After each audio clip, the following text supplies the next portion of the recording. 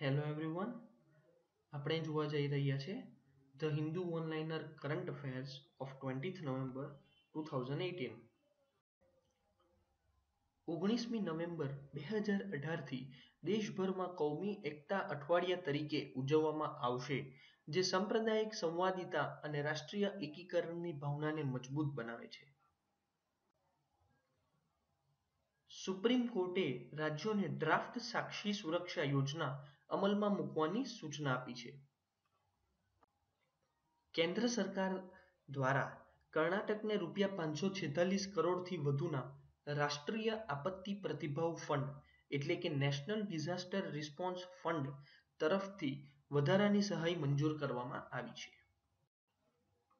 વિયેટનામના નાયબ પ્રધાનમંત્રી શ્રી વુંગ દિન હુ દ્વારા રાષ્ટ્રપતિ કોવિંદ વિયેટનામના હનોઈ ખાતે વિયેટનામ ઇન્ડિયા બિઝનેસ ફોરમમાં મળ્યા હતા.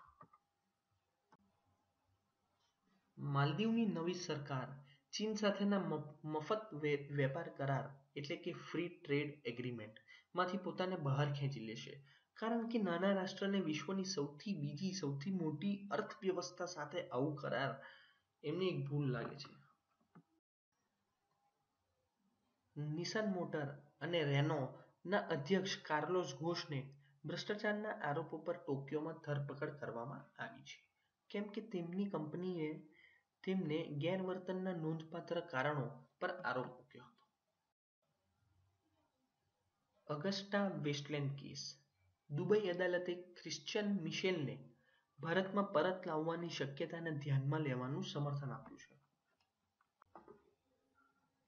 નેશનલ સ્ટોક એક્સચેન્જ એ સરકારી સિક્યોરિટીઝ ખરીદવા માટે રિટેલ રોકાણકારો માટે એક એપ્લિકેશન અને વેબ આધારિત platform NSC go bid launch કર્યું છે.